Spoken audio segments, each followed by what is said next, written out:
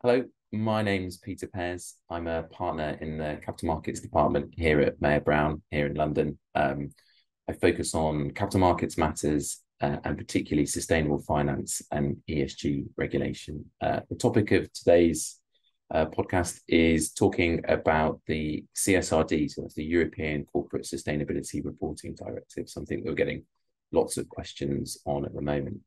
Um, CSRD is a key feature of the EU Sustainable Finance Action Plan and creates detailed sustainability reporting requirements that will apply to a significant number of both EU and importantly, um, non-EU companies and substantially increase the scope of their mandatory sustainability reporting.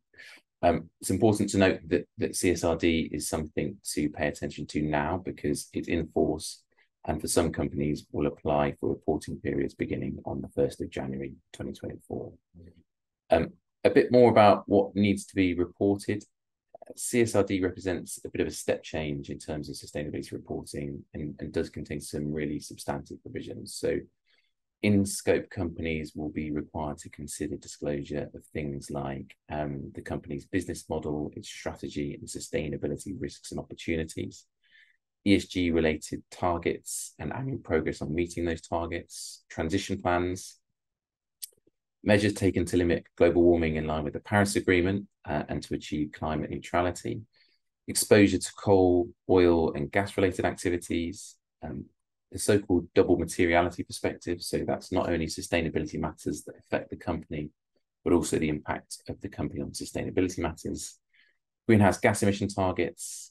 Uh, policies in relation to sustainability. So that's things like incentive schemes that may be linked to sustainability matters, and for some EU taxonomy alignment data. Um, there's lots more additional detail in something called the ESRS, that's the European Sustainability Reporting Standards.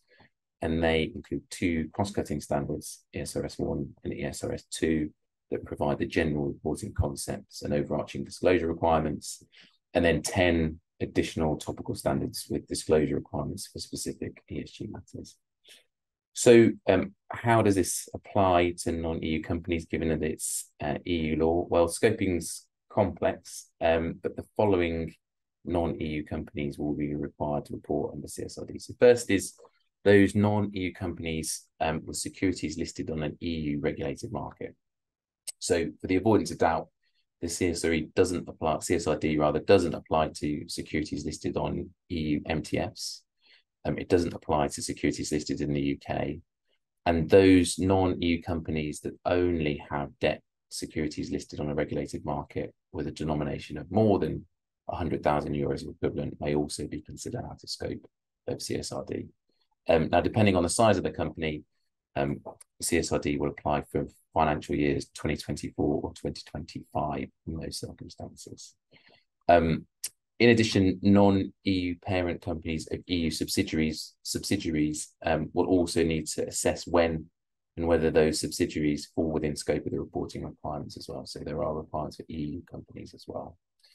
And then finally, um, for non-EU companies with an annual net turnover of more than 150 million euros in the EU um, and which have a qualifying EU subsidiary or branch in the EU, um, they also need to comply with CSRD. There's a bit more time there. That kicks in for financial years starting 2028. Um, there are also exemptions available for non-EU companies where the parent company complies with CSRD via consolidated group reports. And in time, we, we may see exemptions um, under equivalence regimes, so local or domestic sustainability reporting regimes deemed equivalent to the EU CSRD, although we don't really have a view or any indication of whether equivalence is going to happen at the moment. What else do you need to consider? Um, so interoperability with other sustainability reporting regimes. CSRD is not going to operate in a vacuum. So non-EU companies will need to comply with the sustainability reporting rules in their own jurisdiction. So there we could be talking about things like the SEC's proposed climate change disclosure rules, um, or rules in other jurisdictions, and there are also international standards to consider. So at the same time as um, CSRD, um, international sustainability standards boards are developing their own standards, as many of you will know.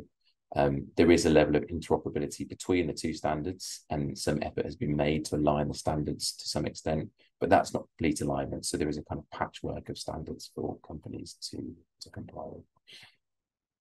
How can we help? Um, it's clearly an important topic given that the focus on sustainability disclosure by regulators, by civil society, um, the increase in ESG litigation. So we're helping clients with scoping, um, the applicability of the rules, helping prepare the various internal teams that report in to provide the report, and of course the disclosures and the disclaimers themselves.